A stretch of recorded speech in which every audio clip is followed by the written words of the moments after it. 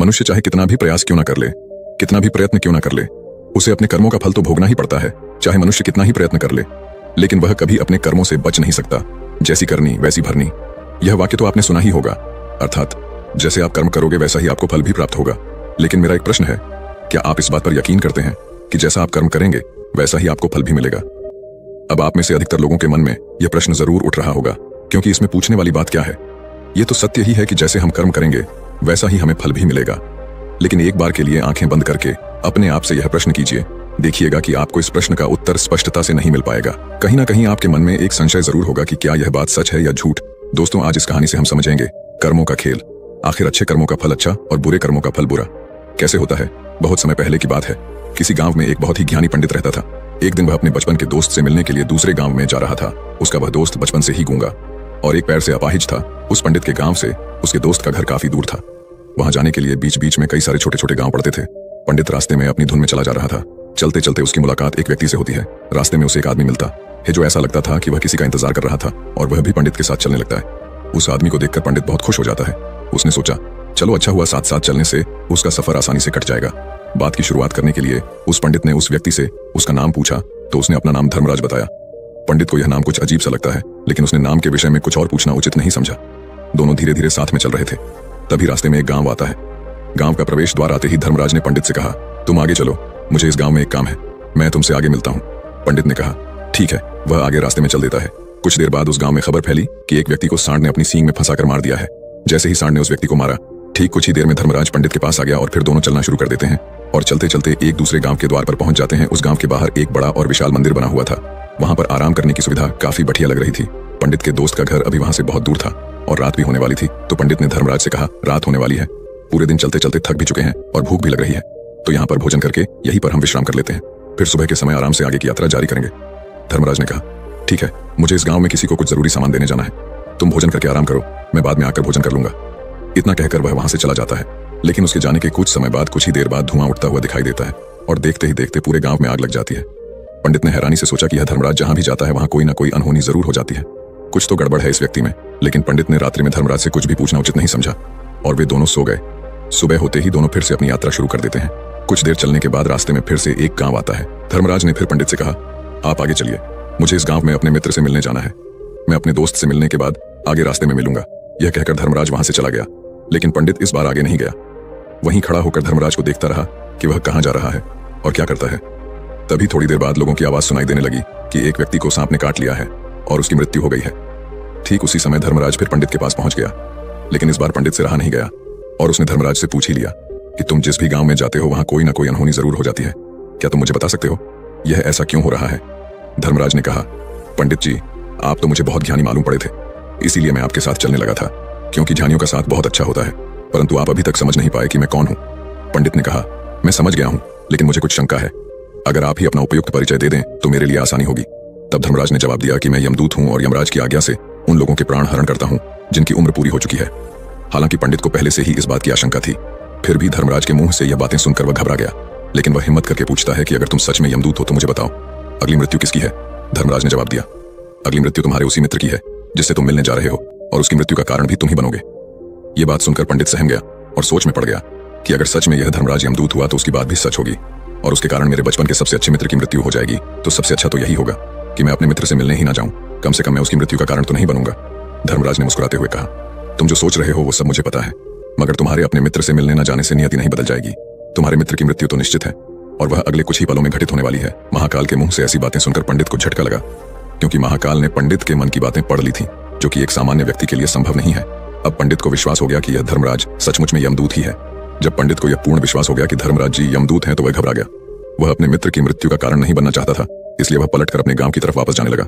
लेकिन जैसे ही पंडित वापस जाने के लिए मुड़ा, उसने देखा कि उसका मित्र तेज़ी से उसकी तरफ़ चला आ रहा है, जो कि पंडित को देखकर अत्यंत प्रसन्न दिखाई पड़ रहा था। अपने मित्र के आने की गति को देखकर पंडित को ऐसा लगा कि जैसे उसका मित्र काफ़ी देर से उसका ही पीछा कर रहा है, लेकिन वह बचपन से ही गूँगा था और एक पैर से लंगड़ा भी था।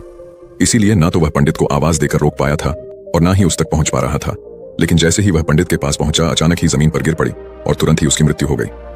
पंडित हक्का बक्का होकर धर्मराज की ओर देखने लगा, जैसे कि वह पूछना चाह रहा हो कि आखिर क्या हुआ। धर्मराज पंडित के मन में उठ रहे प्रश्नों को समझ गया और बोला, तुम्हारे मित्र ने पिछले गाँव में ही तुम्हें देख लिया था और वे वहीं से ही तुम्हारा पीछा कर रहा था, लेकिन गूँगा और लंगड़ा होने की वजह से वह तुम तक नहीं पहुँच पाया। उसने अपनी पूरी ताकत लगाकर तुम तक पहुँचने का प्रयास किया, लेकिन बुढ़ापे में बचपन जैसी ताकत नहीं होती, इसलिए दिल का दौरा होने के कारण उसकी मृत्यु हो गई। क्योंकि वह तुमसे मिलने के लिए अपनी सीमाओं को तोड़कर तुम्हारे पीछे भाग रहा था। इसलिए अपने मित्र की मृत्यु का कारण भी तुम ही कहलाओगे।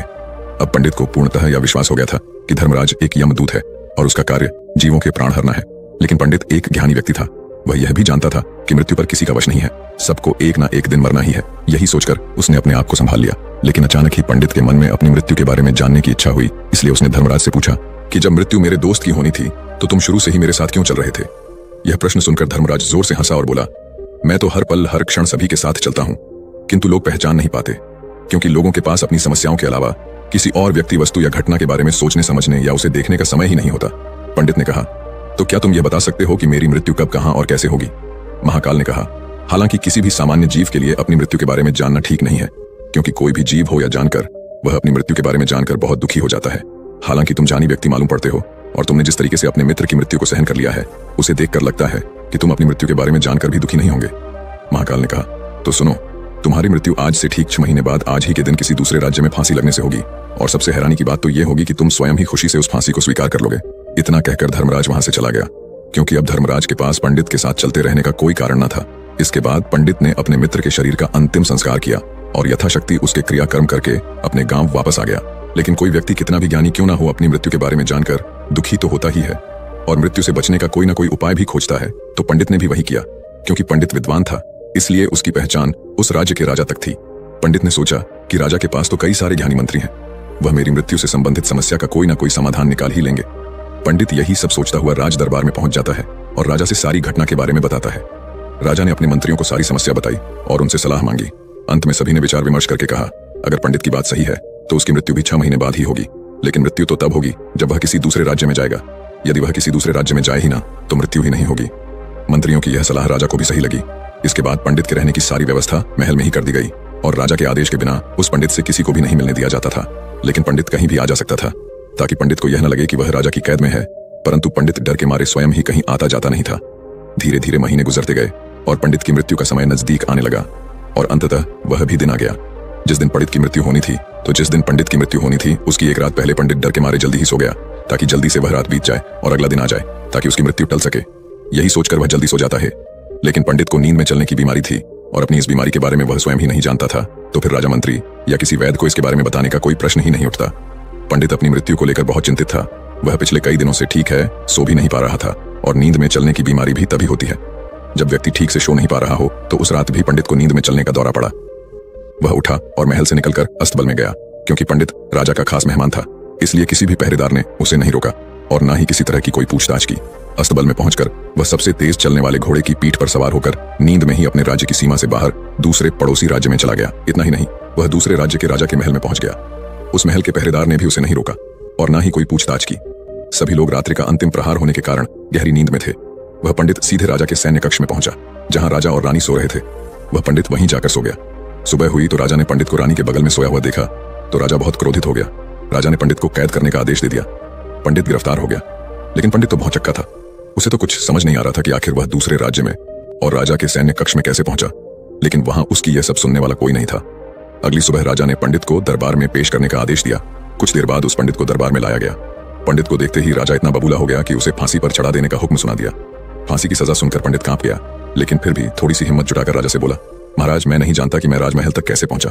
मैं यह भी नहीं जानता हूँ कि आपके सैन्य कक्ष तक मैं कैसे आया, और आपके महल के किसी पहरेदार या सैनिक ने मुझे रोका क्यों नहीं। लेकिन मैं इतना ज़रूर जानता हूँ कि आज मेरी मृत्यु होनी थी, और वो होनी भी जा रही है। राजा को यह बात थोड़ी अजीब लगी। उसने पंडित से पूछा, तुम्हें कैसे पता कि आज तुम्हारी मृत्यु होनी है? राजा के इस प्रश्न के जवाब में पंडित ने पिछले छह महीने का सारा वाक्य राजा को सुना दिया, और बोला, महाराज, मेरा क्या किसी भी सामान्य व्यक्ति में इतना साहस नहीं कि वह राजा के सैन्य कक्ष में, राजा की उपस्थिति में रानी के साथ सो जाए। राजा को पंडित की बात में थोड़ा तर्क दिखाई पड़ा, परंतु उसने सोचा कि यह मृत्यु से बचने के लिए धर्मराज और उसके द्वारा अपनी मृत्यु की भविष्यवाणी की कहानी बना रहा है। इसलिए राजा ने पंडित से कहा, यदि तुम्हारी बात सत्य है और आज यह तुम्हारी मृत्यु का दिन है, जैसा कि यमदूत धर्मराज ने तुमसे कहा था तो आज तुम्हारी मृत्यु का कारण मैं नहीं बनूँगा। लेकिन यदि तुम्हारी बात झूठी निकली तो निश्चित ही आज तुम्हारी मृत्यु का दिन होगा। ना, क्योंकि जिस राज्य से पंडित आया था, उस राज्य का राजा इस राजा का मित्र था। इसलिए इस राजा ने तुरंत अपने दो सैनिकों को पड़ोसी राजा के पास भेजकर पंडित की बात की सत्यता का प्रमाण मांगा भेजा। भेजे गए सैनिक शाम तक लौटे और उन्होंने राजा को बताया कि महाराज पंडित जो कुछ भी कह रहा है वह सब सत्य है। पड़ोसी राज्य के राजा ने पिछले छह महीने से पंडित के रहने की सारी व्यवस्था अपने ही महल में कर रखी थी। पंडित राजा का खास मेहमान था। कल शाम राजा आखिरी बार पंडित से उसके कक्ष में मिले थे और उसके बाद यह इस राज्य में कैसे पहुँच गया इसकी जानकारी किसी को भी नहीं है। इसलिए उस राज्य के राजा के अनुसार पंडित को फांसी की सजा देना ठीक नहीं है। लेकिन राजा के सामने एक नई समस्या थी, क्योंकि उसने बिना पूरी बात जाने ही पंडित को फांसी की सजा सुना दी थी। इसलिए अगर पंडित को फांसी नहीं दी जाती तो राजा के वचन का अपमान हो जाएगा। लेकिन अगर राजा की बात का मान रखा जाए तो बेवजह ही एक निर्दोष व्यक्ति की मौत हो जाएगी।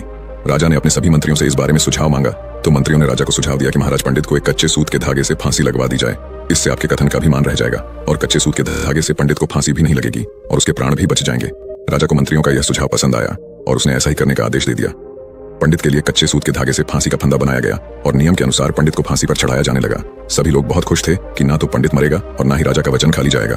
पंडित को भी पूर्ण विश्वास था यह सूद के धागे से तो उसकी मृत्यु हो ही नहीं सकती। पंडित उस पर चढ़ने के लिए तैयार हो गया, जैसा कि धर्मराज ने भविष्यवाणी की थी, कि तुम खुद ही अपनी फांसी को स्वीकार करोगे।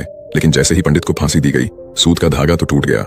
लेकिन टूटने से पहले उसने अपना काम कर दिया था। पंडित के गले की एक नस सूद के धागे के झटके से कट चुकी थी और पंडित ज़मीन पर पड़ा तड़प रहा था। उस पल उसके गले से खून की फुहार निकल रही थी और देखते ही देखते पंडित का शरीर पूरी तरह से शांत हो गया। सभी लोग आश्चर्यचकित थे और पंडित को मरता हुआ देख रहे थे। किसी को विश्वास नहीं हो रहा था कि कच्चे सूद के धागे से भी किसी इंसान की मृत्यु हो सकती है। लेकिन घटना तो घट चुकी थी। नियति ने अपना काम कर दिया था और धर्मराज की भविष्यवाणी सच हो चुकी थी।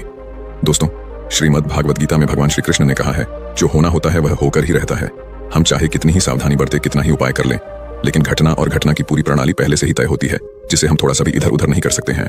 दोस्तों, शायद इसीलिए ईश्वर ने हमें भविष्य जानने की क्षमता नहीं दी है, ताकि हम अपने जीवन को ज़्यादा बेहतर तरीके से जी सके। और यही बात उस पंडित पर भी लागू होती है। अगर पंडित ने महाकाल से अपनी मृत्यु के बारे में न पूछा होता तो छह महीने तक राजा के महल में कैद रहकर डर डर कर जीने की बजाय ज़्यादा बेहतर जीवन जीता। तो एक दिन एक किसान बुद्ध के पास आया और बोला, महाराज, मैं एक साधारण किसान हूँ। बीज बोकर, हल चलाकर अनाज उत्पन्न करता हूँ और तब उसे ग्रहण करता हूँ। किंतु इससे मेरे मन को तसल्ली नहीं मिलती। मैं कुछ ऐसा करना चाहता हूँ, जिससे मेरे खेत में अमृतत्व के फल उत्पन्न हो। आप मुझे मार्गदर्शन दीजिए, जिससे मेरे खेत में अमृतत्व के फल उत्पन्न होने लगे। बात सुनकर बुद्ध मुस्कुराकर बोले, भले व्यक्ति, तुम्हें अमृतत्व का फल तो अवश्य मिल सकता है, किंतु इसके लिए तुम्हें खेत में बीज न बोकर अपने मन में बीज बोने होंगे। यह सुनकर किसान हैरानी से बोला, प्रभु, आप यह क्या कह रहे हैं? भला मन के बीज बोकर भी फल प्राप्त हो सकते हैं? बुद्ध बोले, बिल्कुल हो सकते हैं, और इन बीजों से तुम्हें जो फल प्राप्त होंगे, वे वाकई साधारण न होकर अद्भुत होंगे। जो तुम्हारे जीवन को भी सफल बनाएँगे और तुम्हें नेकी की राह दिखाएँगे। किसान ने कहा, प्रभु, तब तो मुझे अवश्य बताइए कि मैं मन में बीज कैसे बोऊं? बुद्ध बोले, तुम मन में विश्वास के बीज बो, विवेक का हल चलाओ, ज्ञान के जल से उसे सींचो और उसमें नम्रता का उर्वरक डालो। इससे तुम्हें अमृत्व का फल प्राप्त होगा। उसे खाकर तुम्हारे सारे दुख दूर हो जाएँगे और तुम्हें असीम शांति का अनुभव होगा। बुद्ध से अमृत्व के फल की प्राप्ति की बात सुनकर किसान की आँखें खुल गईं। वह समझ गया कि अमृत का फल सदविचारों के द्वारा ही प्राप्त किया जा सकता है। गौतम बुद्ध किसी उपवन में विश्राम कर रहे थे। तभी बच्चों का एक झुंड आया और पेड़ पर पत्थर मारकर आम गिराने लगा। एक पत्थर बुद्ध के सर पर लगा और उससे खून बहने लगा। बुद्ध की आँखों में आँसू आ गए। बच्चों ने देखा तो भयभीत हो गए। उन्हें लगा कि अब बुद्ध उन्हें भला बुरा कहेंगे। बच्चों ने उनके चरण पकड़ लिए और उनसे क्षमा याचना करने लगे। उनमें से एक बच्चे ने कहा, हमसे बड़ी भूल हो गई है। मेरी वजह से आपको पत्थर लगा और आपके आँसू आ गए। इस पर बुद्ध ने कहा, बच्चों, मैं इसलिए दुखी हूँ कि तुमने आम के पेड़ पर पत्थर मारा तो पेड़ ने बदले में तुम्हें मीठे फल दिए। लेकिन मुझे मारने पर मैं तुम्हें सिर्फ़ भय दे सका। एक बार भगवान बुद्ध अपने अनुयायियों के साथ किसी गाँव में उपदेश देने जा रहे थे। उस गाँव से पूर्व ही मार्ग में उन लोगों को जगह जगह बहुत सारे गड्ढे खुदे हुए मिले। बुद्ध के एक शिष्य ने उन गड्ढों को देखकर जिज्ञासा प्रकट की, आखिर इस तरह के गड्ढे खुदे होने का तात्पर्य क्या है? बुद्ध बोले, पानी की तलाश में किसी व्यक्ति ने इतने गड्ढे खोदे हैं। यदि वह धैर्य पूर्वक एक ही स्थान पर गड्ढा खोदता तो उसे पानी अवश्य मिल जाता। पर वह थोड़ी देर गड्ढा खोदता और पानी न मिलने पर दूसरा गड्ढा खोदना शुरू कर देता। व्यक्ति को परिश्रम करने के साथ धैर्य भी रखना चाहिए। एक बार भगवान बुद्ध भिक्षा के लिए एक किसान के यहाँ पहुँचे। तथागत को भिक्षा के लिए आया देखकर किसान उपेक्षा से बोला, श्रमण, मैं हल जोतता हूँ और तब खाता हूँ। तुम्हें भी हल जोतना और बीज बोना चाहिए और तब खाना खाना चाहिए। बुद्ध ने कहा, महाराज, मैं भी खेती ही करता हूँ। इस पर किसान को जिज्ञासा हुई, बोले, गौतम, मैं न तुम्हारा हल देखता हूँ, न बैल और न खेती के स्थल। तब आप कैसे कहते हैं कि आप भी खेती ही करते हैं? आप कृपया अपनी खेती के संबंध में समझाइए बुद्ध ने कहा, महाराज, मेरे पास श्रद्धा का बीज, तपस्या रूपी, वर्षा, प्रजा रूपी जोत और हल है। पाप भीरुता का दंड है, विचार रूपी रस्सी है, स्मृति और जागरूकता। रूपी हल की फाल और पेनी है। मैं वचन और कर्म में संयत रहता हूँ। मैं अपनी इस खेती को बेकार, घास से मुक्त रखता हूँ और आनंद की फ़सल काट लेने तक प्रयत्नशील रहने वाला हूँ। अप्रमाद मेरा बैल है जो बाधाएँ देखकर भी पीछे मुँह नहीं मोड़ता है। वह मुझे सीधा शांति धाम तक ले जाता है। इस प्रकार मैं अमृत की खेती करता हूँ। एक बार बुद्ध से मल्लुक्या पुत्र ने पूछा, भगवान, आपने आज तक यह नहीं बताया कि मृत्यु के उपरांत क्या होता है? उसकी बात सुनकर बुद्ध मुस्कुराए। फिर उन्होंने उससे पूछा, पहले मेरी एक बात का जवाब दो। अगर कोई व्यक्ति कहीं जा रहा हो और अचानक कहीं से आकर उसके शरीर में एक विषबुझा बाण घुस जाए तो उसे क्या करना चाहिए? पहले शरीर में घुसे बाण को हटाना ठीक रहेगा, या फिर देखना कि बाण किधर से आया है और किसे लक्ष्य कर मारा गया है। मलु के पुत्र ने कहा, पहले तो शरीर में घुसे बाण को तुरंत निकालना चाहिए, अन्यथा विष पूरे शरीर में फैल जाएगा। बुद्ध ने कहा, बिल्कुल ठीक कहा तुमने। अब यह बताओ कि पहले इस जीवन के दुखों के निवारण का उपाय किया जाए, या मृत्यु की बात की बातों के बारे में सोचा जाए? मलु के पुत्र अब समझ चुका था और उसकी जिज्ञासा शांत हो गई। एक दिन एक व्यक्ति बुद्ध के पास पहुँचा। वह बहुत अधिक तनाव में था। अनेक प्रश्न उसके दिमाग में घूम घूम कर उसे परेशान कर रहे थे। जैसे आत्मा क्या है? आदमी मृत्यु के बाद कहाँ जाता है? सृष्टि का निर्माता कौन है? स्वर्ग नरक की अवधारणा कहाँ तक सच है? और ईश्वर है या नहीं? उसे इन प्रश्नों के उत्तर नहीं मिल रहे थे। जब वह बुद्ध के पास पहुँचा तो उसने देखा कि बुद्ध को कई लोग घेर कर बैठे हैं। बुद्ध उन सभी के प्रश्नों व जिज्ञासाओं का समाधान अत्यंत सहज भाव से कर रहे हैं। काफ़ी देर तक यह क्रम चलता रहा, किंतु बुद्ध धैर्यपूर्वक हर एक को संतुष्ट करते रहे। बेचारा व्यक्ति वहाँ का हाल देखकर परेशान हो गया। उसने सोचा कि इन्हें दुनियादारी के मामलों में पढ़ने से क्या लाभ? अपना भगवत भजन करें और बुनियादी समस्याओं से ग्रस्त इन लोगों को भगाए। किंतु बुद्ध का व्यवहार देखकर तो ऐसा लग रहा था, मानो इन लोगों का दुख उनका अपना दुख है। आखिर उस व्यक्ति ने पूछ ही लिया, महाराज, आपको इन सांसारिक बातों से क्या लेना देना? बुद्ध बोले, मैं ज्ञानी नहीं हूँ और इंसान हूँ। वैसे भी वह ज्ञान किस काम का, जो इतना घमंडी और आत्मकेंद्रित हो कि अपने अतिरिक्त दूसरे की चिंता ही न कर सके? ऐसा ज्ञान तो अज्ञान से भी बुरा है। बुद्ध की बातें सुनकर व्यक्ति की उलझन दूर हो गई। उस दिन से उसकी सोच व आचरण दोनों बदल गए। कथा का सार यह है कि ज्ञान तभी सार्थक होता है जब वह लोक कल्याण में संलग्न हो। महात्मा बुद्ध एक गाँव में ठहरे हुए थे। वे प्रतिदिन शाम को वहाँ पर सत्संग करते थे। भक्तों की भीड़ होती थी क्योंकि उनके प्रवचनों से जीवन को सही दिशाबोध प्राप्त होता था। बुद्ध की वाणी में गजब का जादू था। उनके शब्द श्रोता के दिल में उतर जाते थे। एक युवक प्रतिदिन बुद्ध का प्रवचन सुनता था। एक दिन जब प्रवचन समाप्त हो गए तो वह बुद्ध के पास गया और बोला, महाराज, मैं काफ़ी दिनों से आपके प्रवचन सुन रहा हूँ, किंतु यहाँ से जाने के बाद मैं अपने गृहस्थ जीवन में वैसा सदाचरण नहीं कर पाता, जैसा यहाँ से सुनकर जाता हूँ। इससे सत्संग के महत्व पर शंका भी होने लगती है। बताइए, मैं क्या करूँ? बुद्ध ने युवक को बाँस की एक टोकरी देते हुए उसमें पानी भरकर लाने के लिए कहा। युवक टोकरी में जल भरने में असफल रहा। बुद्ध ने यह कार्य निरंतर जारी रखने के लिए कहा। युवक प्रतिदिन टोकरी में जल भरने का प्रयास करता, किंतु सफल नहीं हो पाता। कुछ दिनों बाद बुद्ध ने उससे पूछा, इतने दिनों से टोकरी में लगातार जल डालने से क्या टोकरी में कोई फ़र्क नज़र आया? युवक बोला, एक फ़र्क ज़रूर नज़र आया है। पहले टोकरी के साथ मिट्टी जमा होती थी, अब वह साफ़ दिखाई देती है। कोई गंदगी नहीं दिखाई देती है। और इसके छेद पहले जितने बड़े नहीं रह गए, वे बहुत छोटे हो गए हैं।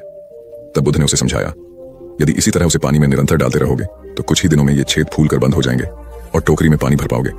इसी प्रकार जो निरंतर सत्संग करते हैं, उनका मन एक दिन अवश्य निर्मल हो जाता है। अवगुणों के छिद्र भरने लगते हैं और गुणों का जल भरने लगता है। युवक ने बुद्ध से अपनी समस्या का समाधान पा लिया। निरंतर सत्संग से दुर्जन भी सज्जन हो जाते हैं, क्योंकि महापुरुषों की पवित्र वाणी उनके मानसिक विकारों को दूर कर उनमें सदविचारों का आलोक प्रसारित कर देती है। एक आदमी को बुद्ध ने सुझाव दिया कि दूर से पानी लाते हो। क्यों नहीं अपने घर के पास एक कुआँ खोद लेते? हमेशा के लिए पानी की समस्या से छुटकारा मिल जाएगा। सलाह मानकर उस आदमी ने कुआँ खोदना शुरू किया। लेकिन सात आठ फीट खोदने के बाद, उसे पानी तो क्या?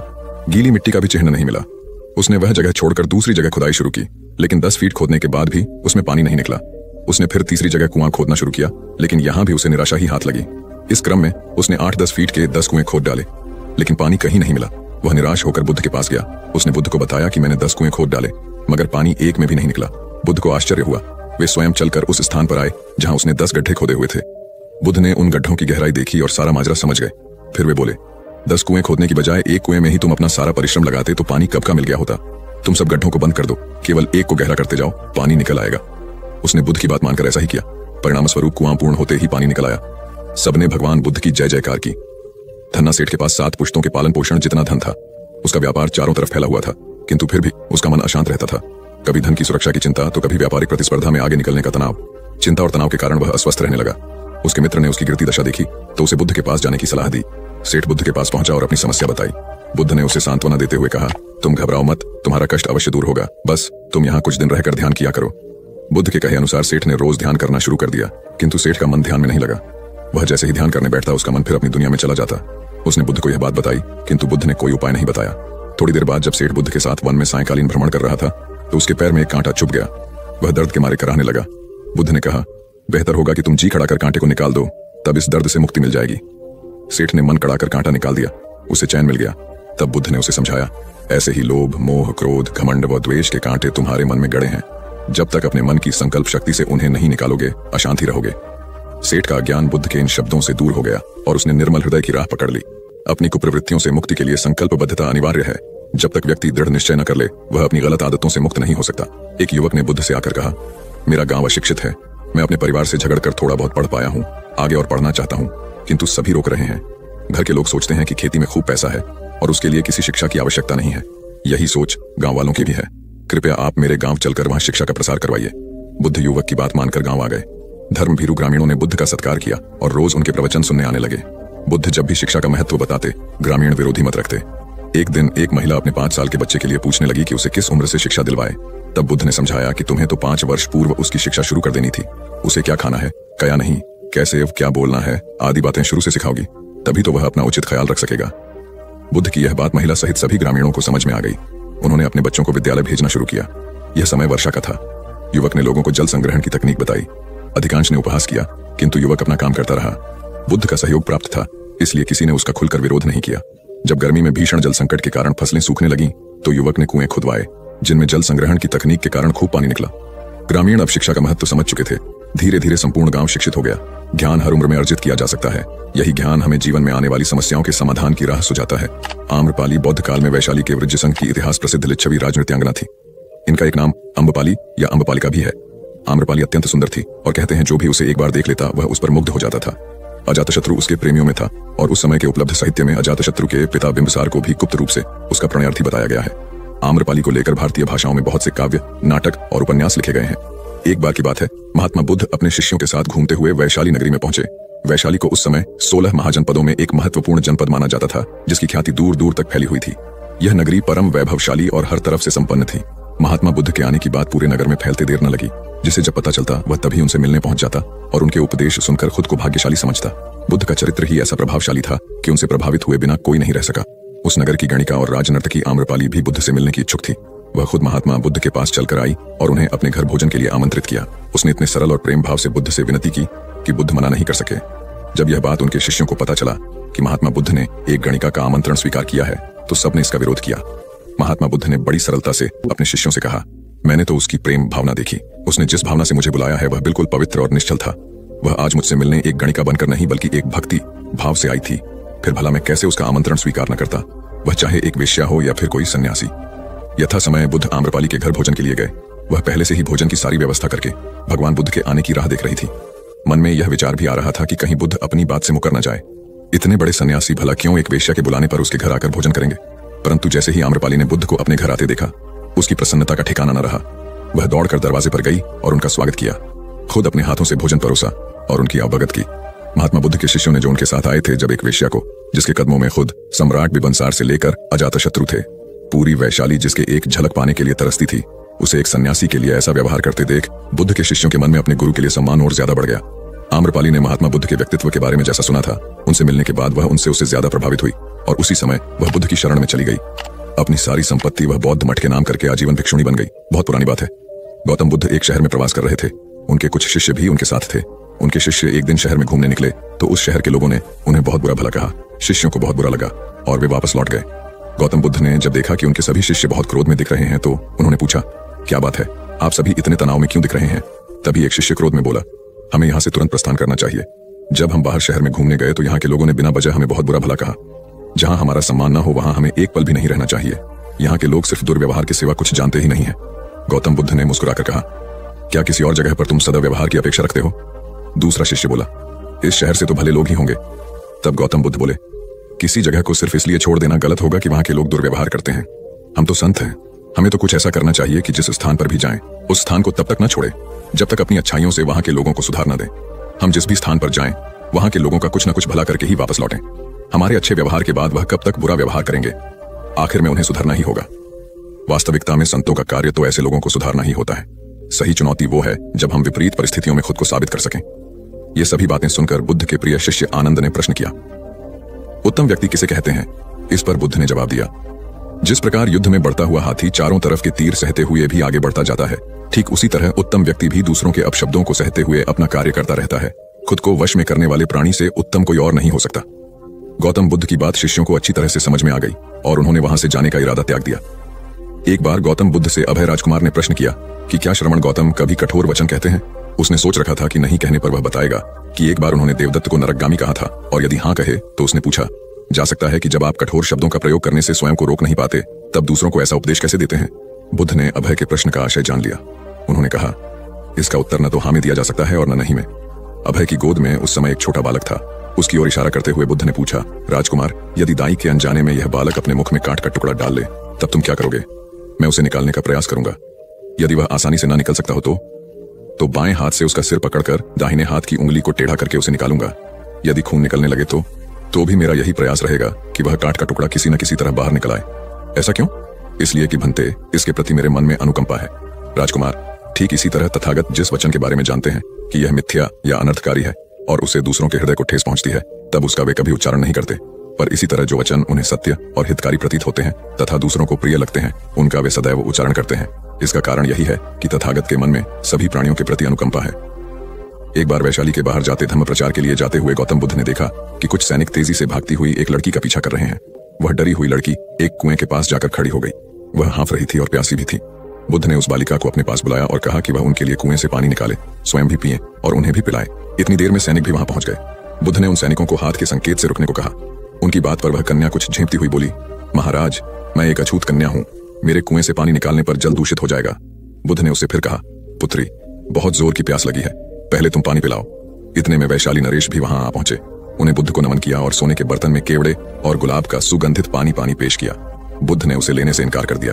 बुद्ध ने एक बार फिर बालिका से अपनी बात कही।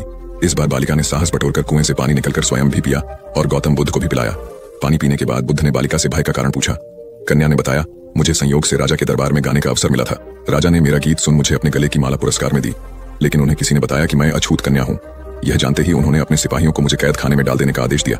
मैं किसी तरह उनसे बचकर यहाँ तक पहुँची थी। इस पर बुद्ध ने कहा, सुनो राजन, यह कन्या अछूत नहीं है। आप अछूत हैं। जिस बालिका के मधुर कंठ से निकले गीत का आपने आनंद उठाया, उसे पुरस्कार दिया। वह अछूत हो ही नहीं सकती। गौतम बुद्ध के सामने वह राजा लज्जित ही हो सकते थे। भगवान बुद्ध देव और मनुष्यों के शास्त्र थे, परंतु सबसे पहले वह मनुष्य थे। मनुष्य बढ़कर देवता बनता है। यह प्राचीन मान्यता थी। आज भी हम मनुष्यत्व के ऊपर देवत्व की बात करते हैं, परंतु बुद्ध ने इस क्रम को पलट दिया। उन्होंने कहा, यह जो मनुष्यता है, वही देवताओं का सुगति प्राप्त करना कहलाती है। देवता जब सुगति प्राप्त करता है, तब वह मनुष्य बनता है। देवताओं में विलास है, राग, द्वेष, ईर्ष्या और मोह भी वहाँ है। निर्वाण की साधना वहाँ नहीं हो सकती। इसके लिए देवताओं को मनुष्य बनना पड़ता है। मनुष्य में ही देव पुरुष का आविर्भाव होता है, जिनको देवता नमस्कार करते हैं। मानवता धर्म का उपदेश देने वाले बुद्ध स्वयं मानवता के जीते जागते रुख थे। यहाँ उनके जीवन से संबंधित कुछ प्रसंग दिए जाते हैं। जिनसे उनके व्यक्तित्व में बैठी हुई गहरी मानवता का दर्शन होता है। भगवान का परिनिर्वाण होने वाला है। रात का पिछला पहर है। भिक्षु उनकी शैया को घेरे बैठे हैं। बुद्ध उन्हें उपदेश दे रहे हैं। कह रहे हैं, भिक्षुओं, बुद्ध, धर्म और संघ के विषय में कुछ शंका हो तो पूछ लो। पीछे मलाल मत करना कि भगवान हमारे सामने थे, पर हम उनसे कुछ पूछ ना सके। कोई शिष्य नहीं बोलता। भगवान तीन बार कहते हैं, पर कोई भिक्षु कुछ पूछने को नहीं उठता। भगवान को शंका होती है कि कहीं वे उनके गौरव का विचार करके पूछने में संकोच तो नहीं कर रहे। इसलिए वह कहते हैं, शायद भिक्षुओं, तुम मेरे गौरव के कारण नहीं पूछ रहे। जैसे मित्र मित्र से पूछता है, वैसे तुम मुझसे पूछो। बुद्ध अपने शिष्यों की समान भूमिका पर आ जाते हैं। उनकी यह विनम्रता। मनुष्य धर्म की आधार भूमि है। बुद्ध ने अपने को भिक्षुओं का कल्याण मित्र कहा है, जो उनकी मानवीय सहदयता और विनम्रता को सूचित करता है। एक दूसरा दृश्य भी उसी समय का है। चंद करमार पुत्र के यहाँ बुद्ध ने अंतिम भोजन किया था। उसके बाद ही उन्हें खून गिरने की कड़ी बीमारी हो गई थी, जो उनके शरीरांत का कारण बनी। बुद्ध को उसके हृदय का बड़ा ध्यान था। भक्त उपासक को यह अफसोस हो सकता था कि उसका भोजन करके ही भगवान का शरीर छूट गया। इसलिए आखिरी सांस लेने से पहले उन्होंने आनंद को आदेश दिया।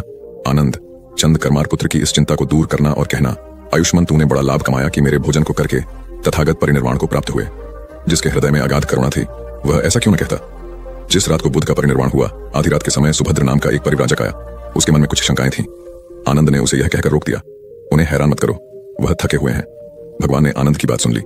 उन्होंने आनंद से कहा, नहीं आनंद, सुभद्र को मना मत करो, मेरे पास आने दो। वह परम ज्ञान की इच्छा से पूछना चाहता है, हैरान करने की उसकी इच्छा नहीं है। पूछने पर जो मैं उसे कहूँगा, वह उसे जल्दी ही समझ लेगा। मध्य रात्रि में, उस अवस्था में, सुभद्र की तथागत से उपदेश सुनने का सौभाग्य मिल गया। एक बड़ी दुखियारी स्त्री थी, पति, पुत्र परिवार, सब उसका नष्ट हो गया था। हमारे दुख के वह पागल हुई फिरती थी। कपड़े पहनने का भी उसे होश न था। उसका नाम पटाचार था। एक दिन घूमते हुए, वह बुद्ध के पास जैतवन आराम में आ गई। उस नंगी स्त्री को देखकर लोगों ने कहा, यह पागल है, इसे इधर मत आने दो। बुद्ध ने कहा, इसे मत रोको। जैसे ही वह पास आई, बुद्ध ने कहा, भगिनी, स्मृति लाभ कर। स्त्री को कुछ होश आया। लोगों ने उस पर कपड़े डाल दिए, जिन्हें उसने ओढ़ लिया। स्त्री फूट कर रोने लगी। बुद्ध ने अपने उपदेशामृत से उसके शोक को दूर कर दिया। बुद्ध का एक भिक्षु शिष्य था वक्कली। वह एक बार बीमार पड़ गया। उसने अपने एक साथी भिक्षु के द्वारा भगवान का दर्शन करने की अपनी इच्छा उन तक पहुंचवाई। भगवान उसकी इच्छा पूरी करने उसके पास गए। दूर से भगवान को आता देखकर वक्कली उनका सम्मान करने और उनको आसन देने के लिए चारपाई से उठने की चेष्टा करने लगा। भगवान ने उसे यह कहकर रोक दिया कि अलग आसन तैयार है। उसके हिलने डुलने की आवश्यकता नहीं है, और वह बिछे आसन पर बैठ गए। वक्कली ने उसकी वंदना करते हुए कहा, आपके दर्शन की मेरी बड़ी इच्छा थी। आपने कृपा करके उसे पूरा कर दिया। बुद्ध ने कोमल स्वर में कहा, वक्कली, शांत हो जा। तेरी जैसी गंदी काया है, वैसी ही मेरी है। वक्कली, इस गंदी काया को देखने से क्या लाभ? जो धर्म को देखता है, वह मुझे देखता है। जो मुझे देखता है, वह धर्म को देखता है। भगवान बुद्ध ग्रस्तों के प्रति बड़ी सहानुभूति रखते थे। एक बार सुप्रवासा नामक स्त्री के बच्चा होने वाला था, और वह असहा वेदना से पीड़ित थी। उसने अपने पति के द्वारा बुद्ध के चरणों में प्रणाम अर्पित करवाया। भगवान ने उसे आशीर्वाद देते हुए कहा, कोलिय पुत्री सुप्रवास सुखी हो जाए, चंगी हो जाए। सुखी और चंगी होकर बिना किसी कष्ट के वह पुत्र प्रसव करे। ब्राह्मणों के साथ भी उनकी पूरी सहानुभूति थी, जैसे कि विश्व के सभी प्राणियों के साथ उनकी पूरी सहानुभूति थी। बावरी नामक ब्राह्मण के एक शिष्य ने जब अपने गुरु की ओर से भगवान के चरणों में प्रणाम निवेदन किया तो भगवान ने आशीर्वाद देते हुए कहा, शिष्यों सहित बावरी ब्राह्मण सुखी हो, माणवक, तुम भी सुखी हो, चिरजीवी हो। बुद्ध के पास छोटा बड़ा जो भी जाता था, वह उससे कहते थे, आओ, तुम्हारा स्वागत है। भगवान अपनी अंतिम यात्रा में पावा और कुसीनारा के बीच जा रहे थे। रास्ते में उन्हें पुक्कुस मल्लपुत्र नामक व्यापारी मिला। उसने उन्हें एक दुशाला भेंट किया। परंतु भगवान उसे अकेले कैसे आड़ते वह अपने शिष्य आनंद को सम्मानित करना चाहते थे। उन्होंने कहा, पुक्कुस, दुशाले के एक भाग को मुझे ओढ़ा, दे, दूसरे को आनंद को। पुक्कुस ने ऐसा ही किया। भूल करने वालों के प्रति भी बुद्ध की अनुकंपा का पार न था। एक बार एक ब्राह्मण ने भगवान को वेरंजा में वर्षावास करने का निमंत्रण दिया। भगवान वहाँ गए, लेकिन वह ब्राह्मण बहुधंधी था। उसने उनकी कुछ भी सुदबुद्ध नहीं ली। बुद्ध को बड़ा कष्ट हुआ उन्हें तीन महीने तक कुटा हुआ जो रोज खाना पड़ा था, क्योंकि उस समय वेरंजा में अकाल पड़ रहा था और वह भी उनको और उनके शिष्यों को घोड़ों के व्यापारियों से मिलता था। इतना होने पर भी वर्षावास की समाप्ति पर भगवान बुद्ध अन्यत्र जाने से पूर्व विरंजा जाकर ब्राह्मण को आशीर्वाद देना नहीं भूले। भगवान बुद्ध के जीवन में ऐसी अनंत घटनाएँ मिलती हैं, उनमें हमें उनकी मानवता के दर्शन होते हैं, उनके जीवन में कोमलता की पराकाष्ठा थी और उनकी वाणी में अपर्वु माधुर्य था, जो सबको अपनी ओर खींचता था। उनके मुँह से क्रोध भरा शब्द कभी नहीं निकलता था। वह मनुष्य थे परंतु मनुष्य की दुर्बलताओं से ऊपर उठ चुके थे। उनके व्यक्तित्व में मानवता की शुभ ज्योत्सना, धर्म की स्थिति बनकर चमकी। महात्मा बुद्ध एक बार एक गाँव से गुजरे। वहाँ के कुछ लोग उनसे शत्रुता रखते थे। उन्होंने उन्हें रास्ते में घेर लिया। बेतहाशा गालियाँ देकर अपमानित करने लगे।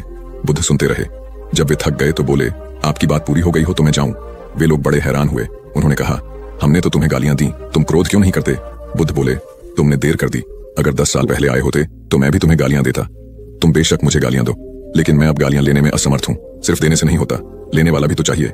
जब मैं पहले गाँव से निकला था तो वहाँ के लोग भेंट करने मिठाइयाँ लाए थे। लेकिन मैंने नहीं ली, क्योंकि मेरा पेट भरा था।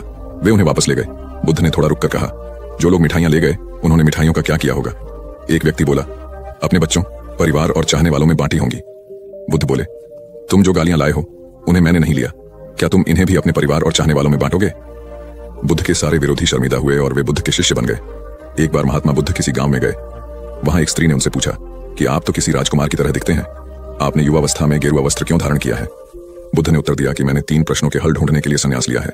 बुद्ध ने कहा, हमारा शरीर युवा और आकर्षक है, लेकिन यह वृद्ध होगा, फिर बीमार होगा, और अंत में यह मृत्यु को प्राप्त हो जाएगा। मुझे वृद्धावस्था, बीमारी और मृत्यु के कारण का ज्ञान प्राप्त करना है।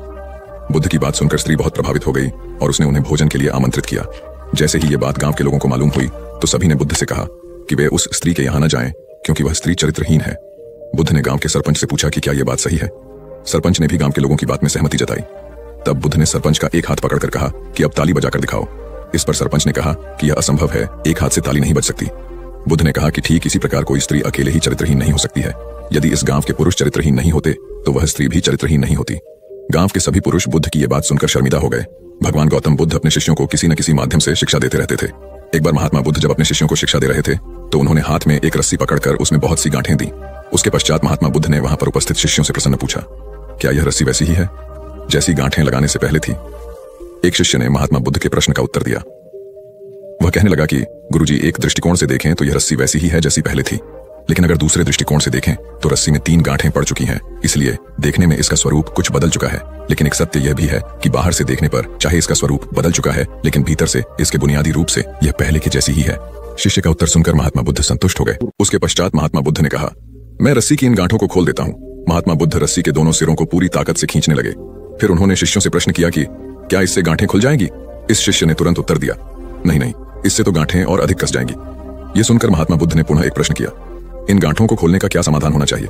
शिष्य तुरंत बोला, गुरुजी, हमें इन गांठों को ध्यान से देखना चाहिए कि इसकी गांठें कैसे लगाई गई हैं। उसके पश्चात इनको खोलने का प्रयत्न करना चाहिए। शिष्य का उत्तर सुनकर महात्मा बुद्ध मुस्कुराते हुए बोले कि, जीवन का यही सूत्र मैं आप लोगों को समझाना चाहता हूँ। आप जीवन में जब कभी भी किसी समस्या में फंसे तो सबसे पहले उस समस्या का कारण ढूंढे और फिर उसका निवारण करें। व्यवहारिक जीवन में लोग समस्या का कारण जाने बिना ही उसका समाधान ढूँढने की कोशिश करते हैं, जिस कारण उनको उचित परिणाम नहीं मिल पाता। महात्मा बुद्ध शिष्य को कहने लगे कि, बहुत से लोग मुझसे पूछते हैं कि आपने क्रोध को कैसे समाप्त करें, लेकिन कभी किसी ने यह नहीं पूछा कि मुझे क्रोध क्यों आता है। ऐसे ही लोग मुझसे पूछते हैं कि अहंकार को कैसे समाप्त करूँ, लेकिन कोई यह जानने की कोशिश नहीं करता कि आखिर अहंकार का बीज उनके अंदर कैसे उत्पन्न हुआ, जैसे रस्सी में गांठें लगाने के बाद भी उसका वास्तविक स्वरूप नहीं बदलता। वैसे ही व्यक्ति में चाहे जैसे भी अवगुण पैदा हो जाए, उसके अंदर की अच्छाई कभी समाप्त नहीं होती। जैसे हम धैर्य से रस्सी की गांठों को ध्यान से देखकर खोल सकते हैं, वैसे ही जीवन में आने वाले विकारों और समस्याओं का हल हम ढूंढ सकते हैं। अगर जीवन में किसी भी तरह की कोई समस्या उत्पन्न हुई है तो उसके कारण को ध्यान से समझने पर उसका निवारण भी स्वतः मिलने लगते हैं। दुनिया में जो तरक्की हो रही है, या देश में कोई तरक्की करता है तो उसे ज़रूर देखना चाहिए। चाहे घर की टीम हो या बाहरी लोगों को मिलाकर बनाई हुई हो जहाँ जहाँ अच्छे समूह बन गए वहाँ वहाँ तरक्की हो गई। ऐसा ही देखा गया है। आपके आसपास जितने लोग तरक्की पसंद हैं, वो मिलकर ही काम करते होंगे। उनका टीम वर्क अच्छा होगा। एक परिवार था, वो गरीब था। खाने को कुछ नहीं था। काफ़ी सोचा कि काम मिले, मगर काम नहीं मिला। दो बच्चे थे बीबी थी। एक दिन उन्हें विचार आया कि इस गाँव में काम मिलना मुश्किल है। चलो कहीं और चलते हैं। इस इरादे से वे एक दिन गाँव छोड़कर चल दिए। रात का समय था। रास्ता भी जंगली था। सोचा वृक्ष के नीचे रात गुजारी जाए। आदमी ने अपने एक लड़के को लकड़ी चुनने तथा दूसरे को पानी लाने के लिए भेज दिया, तथा बीवी को चूल्हा बनाने के लिए कहा, और उसने जगह साफ़ कर दी। चारों ने अपने अपने काम कर लिए। चूल्हा जलाया गया, पानी गर्म होने लग गया। वृक्ष के ऊपर हंस रहता था। वो सोचने लगा, ये कैसा मूर्ख है। इन्होंने चूल्हा तो जला दिया, मगर इनके पास पकाने को तो है ही नहीं, कुछ भी। हंस ने उनसे पूछा, तुम्हारे पास पकाने को क्या है? वो आदमी बोला, तुझे मार के खाएँगे। हंस बोला, मुझे क्यों मारोगे? आदमी बोला, हमारे पास न पैसा है और न ही सामान तो क्या करें? हंस सोच में पड़ गया, इन्होंने चूल्हा भी जला लिया है, सब कर्मशील है। मुझे तो ये खा ही जाएँगे। तो हंस बोला, अगर मैं आपको धन दे दूँ तो मुझे छोड़ दोगे। घर का स्वामी बोला हाँ छोड़ देंगे। हंस कहने लगा, मेरे साथ चलो, मैं तुम्हें धन देता हूँ। हंस उनको थोड़ी दूर ले गया और चौंच से इशारा किया और कहा कि यहाँ से निकाल लो। उन्होंने गड्ढा खोदा और वहाँ से धन निकाल लिया। हंस का धन्यवाद करके वापस अपने गाँव आ गए और एक ही दिन में खूब मौज से रहने लग गए। अब उनके घर में किसी चीज़ की कमी नहीं थी। पड़ोसी ने देखा कि इस परिवार के पास ऐसी कौन सी चीज़ आ गई जो इनके पास इतना कुछ आ गया। उसने छोटे लड़के को बुलाकर सारी बात पूछ ली कि पैसा कहाँ से आया है? उनके भी दो बच्चे थे। उन्होंने भी ऐसी योजना बनाई और चल दिए। उन्होंने भी उसी वृक्ष के नीचे डेरा लगा लिया। आदमी ने अपने बड़े लड़के को कहा, लकड़ी लाओ तथा छोटे लड़के को पानी लाने के लिए कहा। परंतु दोनों आनाकानी करने लगे। बीबी ने भी कहा कि मैं थक चुकी हूँ। जैसे जैसे पानी लकड़ी इकट्ठी हो गई और पानी गर्म होने लगा, हंस फिर आया और बोला, तुम्हारे पास खाने को तो नहीं है तो फिर पानी गर्म कर रहे हो। आदमी बोला, तुझे मारकर खाएँगे। हंस मुस्कुरा उठा और बोला, मारने वाले तो तीन दिन पहले आए थे। तुम अपना समय खराब मत करो। घर जाओ, तुम मुझे क्या मरोगे? तुम तो आपस में ही लड़ रहे हो। जिन्होंने दूसरों को जितना होता है, वे खुद नहीं लड़ते। संसार का नियम भी ऐसा ही है। जिन लोगों ने तरक्की करनी है, वे मिलकर चलते हैं। और आज भी संसार में उनका ही बोल, बाला है, जो आपसी तालमेल में रहते हैं, वे ही समाज रूपी हंस को जीत सकते हैं। एक बार अकबर ने बीरबल से कहा, मुझे परमात्मा दिखा दो। राजा का हुक्म था। बीरबल बहुत परेशान था कि परमात्मा को कैसे राजा को दिखाए। इसी विचार को लेकर बीरबल छुट्टी पर चला गया और उदास रहने लगा। एक दिन परिवार में चर्चा हुई। उदासी का कारण पूछा गया तो बीरबल ने बता दिया कि राजा ईश्वर के दर्शन करना चाहते हैं। बीरबल का बेटा बोला, कल सुबह मुझे आप साथ ले जाएँ। मैं अपने आप राजा को दर्शन करा दूँगा। दूसरे दिन सुबह बीरबल और लड़का दरबार में पहुँचे और राजा को कहा, मेरा लड़का आपके प्रश्न के उत्तर का समाधान करेगा। राजा ने सोचा, यह लड़का क्या समाधान करेगा? लड़का बोला, इस वक्त मैं आपका गुरु हूँ, मुझे उचित स्थान दिया जाए। राजा ने सोचा, बात तो ठीक कह रहा है, मैंने तो प्रश्न किया है, समाधान करने वाला गुरु समान होता है। राजा ने लड़के के लिए अपने साथ थोड़ा ऊँचा स्थान दिया। लड़का बोला, महाराज, एक दूध का कटोरा मंगाओ। राजा ने दूध का कटोरा मंगाया। लड़का बोला, महाराज, इस दूध में घी है। राजा बोला हाँ है। लड़का बोला, पहले मुझे आप उसका दर्शन कराओ। राजा बोला तू मूर्ख है। घी के दर्शन ऐसे थोड़े होते हैं। पहले दूध को गर्म करना पड़ता है, फिर उसकी दही जमाना पड़ता है, फिर उसको मघानी में रिड़का जाता है, फिर मक्खन निकलता है, फिर उसे गर्म गर्म कढ़ाई में डाला जाता है, फिर उसकी मैल निकाली जाती है। तब जाकर घी के दर्शन होते हैं। ऐसे ही थोड़े दर्शन होते हैं। लड़का बोला, यही उत्तर है आपके प्रश्न का। पहले इंसान को तपना पड़ता है, फिर उसको जमना पड़ता है, फिर उसको साधना करनी पड़ती है, फिर उसको ज्ञान की अग्नि में तपना होता है, फिर उस ईश्वर के दर्शन होते हैं। अकबर समझ गया और बोला, तू वाकई ही मेरा गुरु है। ईश्वर को जानने के लिए बहुत कुछ करना पड़ता है।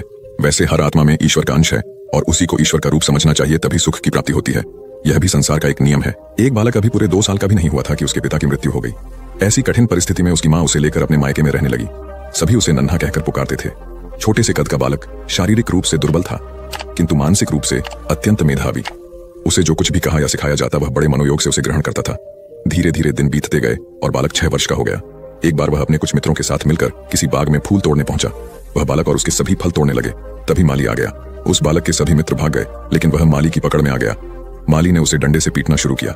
नन्हा मार खाता रहा और फिर धीमी आवाज़ में माली से बोला, मेरे पिता इस दुनिया में नहीं है, इसलिए तुम मुझे इस तरह मार रहे हो। बालक की बात सुनकर माली का हाथ रुक गया। माली शांत होकर बोला, बेटा, तुम्हारे पिता के न होने से तुम्हारी जिम्मेवारी और अधिक बढ़ जाती है कि तुम कोई गलत काम नहीं करो।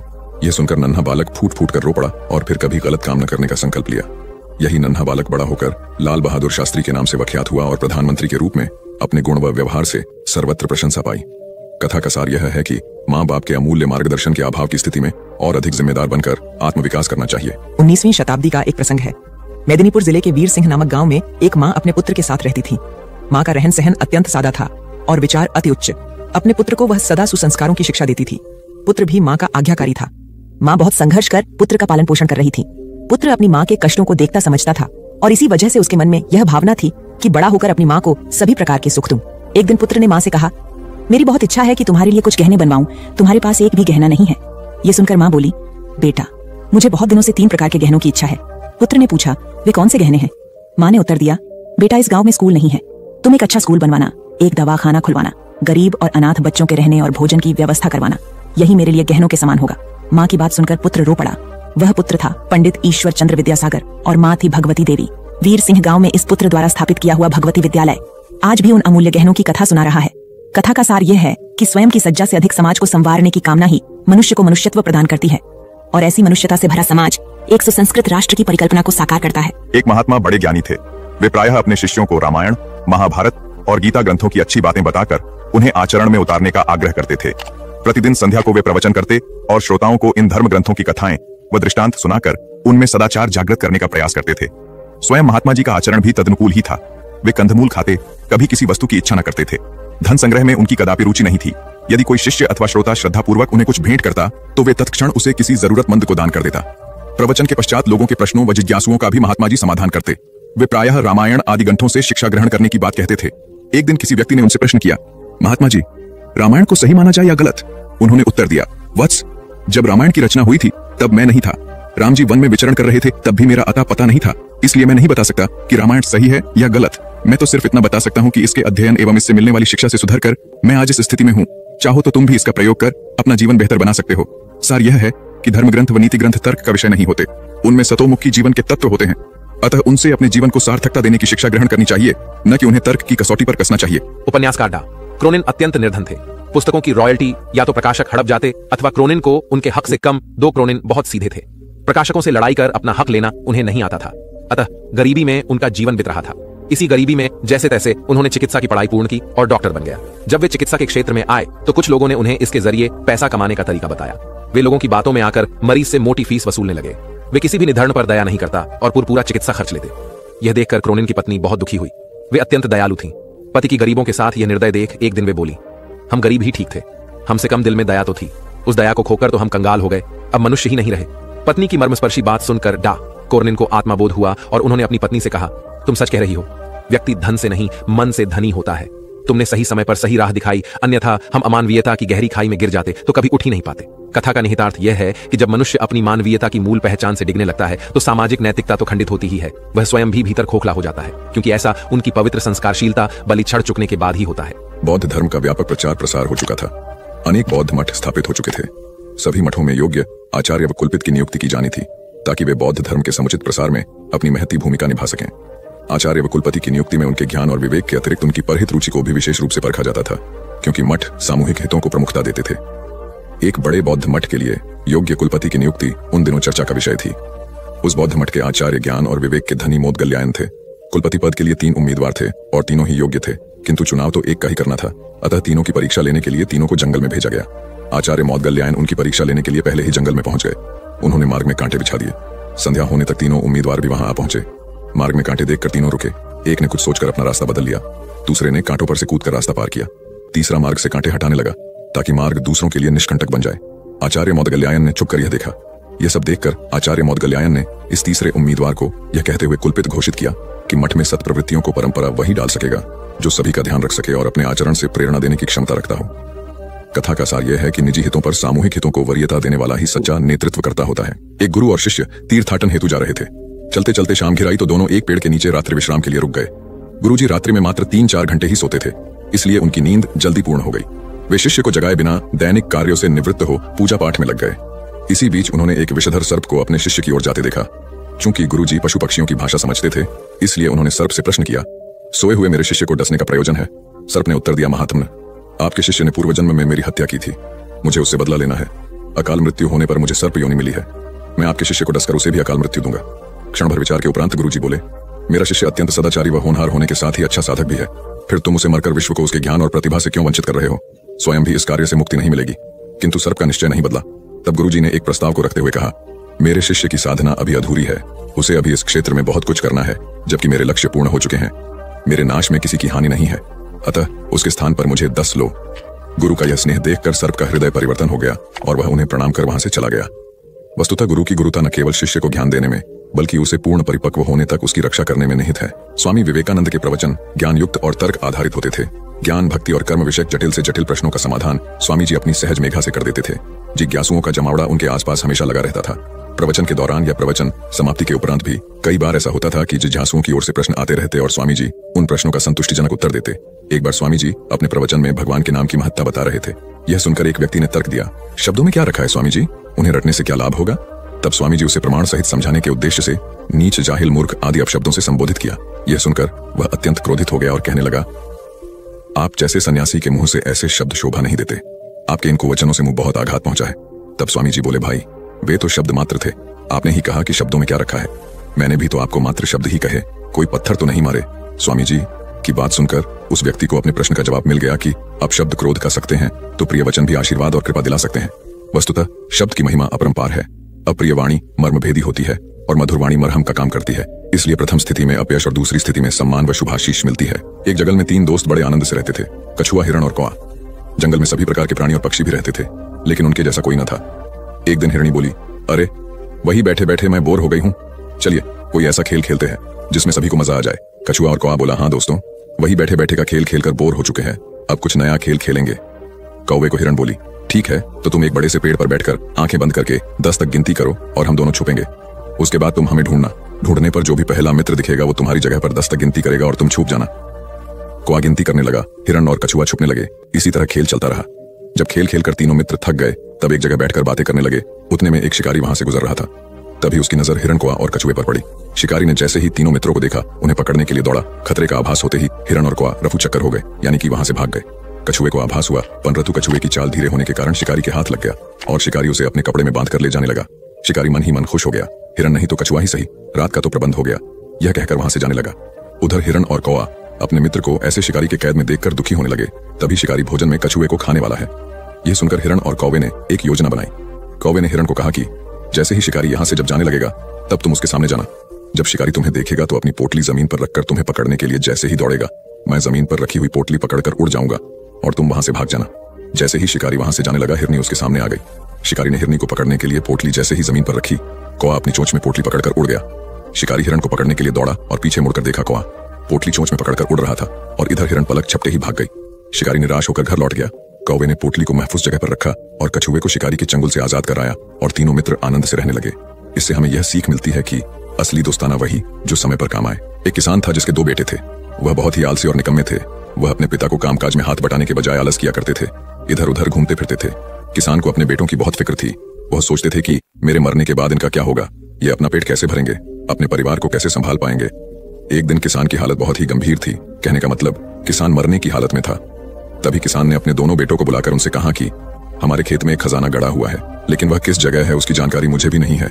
लेकिन खोदने के बाद तुम्हें वो खजाना मिल जाएगा। इतना कहकर किसान भगवान को प्यारे हो गए।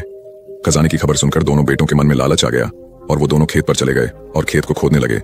खजाने के लालच में कुछ ही दिनों में पूरे खेत को खोदने के बाद वह घर जाकर बैठ गए और वह अपने पिता को कोसने लगे। इसी तरह कुछ महीने बीत गए और वर्षा ऋतु का आगमन हुआ। किसान के बेटों के पास पेट भरने के लिए सिर्फ़ एक ही ज़रिया था, वो थी खेती। तब बाकी किसानों की तरह किसान के बेटों ने खेत में बीज बोने शुरू कर दिए। वर्षा का पानी पाकर वह बीज अंकुरित हुए और देखते ही देखते खेत लहराने लगे। ऐसा लग रहा था कि हवा के झोंके से लहरा रहे थे। यह देखकर किसान के बेटे बहुत खुश हो गए। उनको समझ आ गया कि परिश्रम ही सच्चा धन होता है। और वो उसी तरह से अपने पिता के शब्दों का मोल भी समझ गए और अपने कामकाज में लग गए। यही कहानी आज हम सबकी भी है। मित्रों, इसी पेड़ की तरह हमारे माता पिता भी होते हैं। जब हम छोटे होते हैं तो उनके साथ खेलकर बड़े होते हैं और बड़े होकर उन्हें छोड़कर चले जाते हैं और तभी वापस आते हैं जब हमें कोई ज़रूरत होती है। धीरे धीरे ऐसे ही जीवन बीत जाता है। हमें पेड़ रूपी माता पिता की सेवा करनी चाहिए, ना कि सिर्फ़ उनसे फ़ायदा लेना चाहिए। इस कहानी में हमें दिखाई देता है कि उस पेड़ के लिए वह बच्चा बहुत महत्वपूर्ण था और वह बच्चा बार बार ज़रूरत के अनुसार उस सेब के पेड़ का उपयोग करता था। यह सब जानते हुए भी कि वह उसका केवल उपयोग ही कर रहा है। इसी तरह आजकल हम भी हमारे माता पिता का ज़रूरत के अनुसार उपयोग करते हैं और बड़े होने पर उन्हें भूल जाते हैं। हमें हमेशा हमारे माता पिता की सेवा करनी चाहिए, उनका सम्मान करना चाहिए और हमेशा भले ही हम कितने भी व्यस्त क्यों ना हो, उनके लिए थोड़ा समय तो भी निकलते रहना चाहिए। एक समय की बात है। एक बार गौतम बुद्ध अपने शिष्यों के साथ बैठे हुए थे। तभी वहाँ एक व्यक्ति आया जो बहुत क्रोध में था। और गौतम बुद्ध के पास आकर बहुत भला बुरा कहने लगा। गौतम बुद्ध के शिष्यों को बहुत गुस्सा आया, पर गौतम बुद्ध एकदम शांत थे। वह व्यक्ति वहाँ से चला गया, फिर अगले दिन वह दोबारा आ गया, और आज तो वह और भी ज़्यादा गुस्से में था, और गौतम बुद्ध को और भी बुरा कहने लगा। परंतु आज भी गौतम बुद्ध एकदम शांत थे और मुस्कुरा रहे थे, पर गौतम बुद्ध के शिष्यों को बहुत गुस्सा आया। वह व्यक्ति कुछ देर चिल्लाता रहा, फिर चला गया। अगले दिन वह व्यक्ति फिर आया, और आज तो हद ही कर दी उसने। आकर गौतम बुद्ध को गाली देने लगा।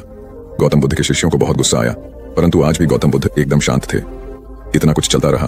और बुद्ध मुस्कुरा रहे थे। यह क्रम कुछ दिन चलता रहा। फिर उस व्यक्ति ने आना छोड़ दिया। तब उनके एक शिष्य ने पूछा, गुरुजी, आप चाहते तो पहले दिन ही उस व्यक्ति को भगा सकते थे, पर आपने ऐसा क्यों नहीं किया? तब गौतम बुद्ध ने बड़ी नम्रता से कहा, अगर कोई व्यक्ति हमें कोई उपहार दे और हम उसे लेने से मना कर दे तो वह व्यक्ति क्या करेगा? शिष्य ने कहा, वह व्यक्ति अपना उपहार लेकर लौट जाएगा। तब गौतम बुद्ध ने कहा, मैंने भी ऐसा ही किया। उस व्यक्ति ने मुझे उपशब्द रूपी उपहार दिया। मैंने उसे लेने से मना कर दिया। मतलब उस पर कोई भी प्रतिक्रिया नहीं दी। तो व्यक्ति अपने वह अपशब्द वापस लेकर लौट गया। एक व्यक्ति की तीन साल की बेटी थी। एक दिन उस व्यक्ति ने देखा कि उसकी बेटी उसके एक बहुत सुंदर और महँगे गोल्ड पैकिंग पेपर से एक बॉक्स को लपेट रही थी। ये देखकर उस व्यक्ति को बहुत गुस्सा आया है। उसने अपनी बेटी को बहुत डांटा। तुमने मेरे इतनी कीमती पेपर को बेकार कर दिया, वो भी बिना किसी मतलब के। तुम इसे अच्छे काम के लिए उपयोग करती तो अच्छा लगता। पर तुमने एक बेकार से डिब्बे को उसमें लपेट दिया। कुछ दिन बीते दिवाली का दिन आया। उस व्यक्ति ने अपनी बेटी को गिफ्ट दिया। बेटी ने भी वही सुंदर सा गोल्डन बॉक्स पापा को दिया। उसके पापा पहले तो उसे देखकर बहुत खुश हुए, पर जैसे ही उन्होंने उस डिब्बे को खोला, वह खाली था। यह देखकर उस व्यक्ति ने अपनी बेटी को घूरा और कहा, क्या तुम्हें इतना भी नहीं पता कि किसी को खाली डिब्बा नहीं देते? लड़की कुछ देर शांत रही, फिर बोली, पापा यह डिब्बा खाली नहीं है। मैंने इसमें बहुत सारे किस आपके लिए रखे हैं। कभी कभी आप जल्दी ऑफ़िस चले जाते हैं और मैं सोती रह जाती हूँ तो आप इसमें से एक किस ले जा सकते हैं। बेटी की बात सुनकर उस व्यक्ति की आँख भर आई एक गाँव में एक लड़का रहता था। उसके घर की आर्थिक स्थिति ठीक नहीं थी। उसके मन में विचार आया, किसी बड़े शहर में जाकर वह नौकरी करे। वह कलकत्ता गया और नौकरी ढूँढने लगा। बहुत खोज के बाद उसे एक सेठ के घर में नौकरी मिल गई। नौकरी छह आने रोज की थी। काम था सेठ को रोज छह घंटे अखबार और किताब पढ़कर सुनाना। लड़के को नौकरी की ज़रूरत थी तो उसने वह नौकरी स्वीकार कर ली। एक दिन की बात है, लड़के को दुकान के कोने में सौ सौ के आठ नोट पड़े मिले। उसने चुपचाप उन्हें अखबार और किताबों से ढक दिया। दूसरे दिन रुपयों की खोजबीन हुई। लड़का सुबह जब दुकान पर आया तो उससे पूछा गया।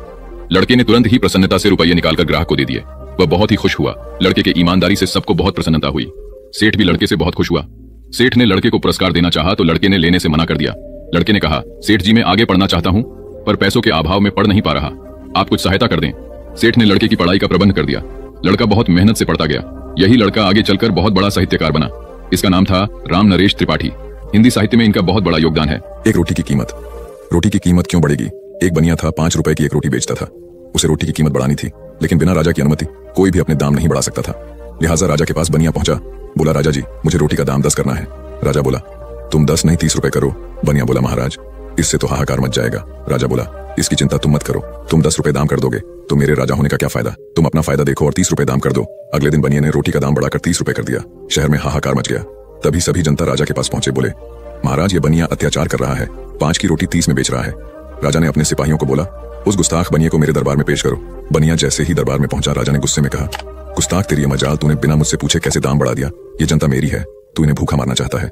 राजा ने बनिया को आदेश दिया। तुम रोटी कल से आधे दाम में बेचोगे, नहीं तो तुम्हारा सर कलम कर दिया जाएगा। राजा का आदेश सुनते ही पूरी जनता ने ज़ोर से बोला, महाराज की जय हो, महाराज की जय हो, महाराज की जय हो। नतीजा सुनिए, अगले दिन से पाँच की रोटी पंद्रह में बिकने लगी। अब जनता भी खुश, बनिया भी खुश और राजा भी खुश। एक बार की बात है, यूनानी राजा मिडास था।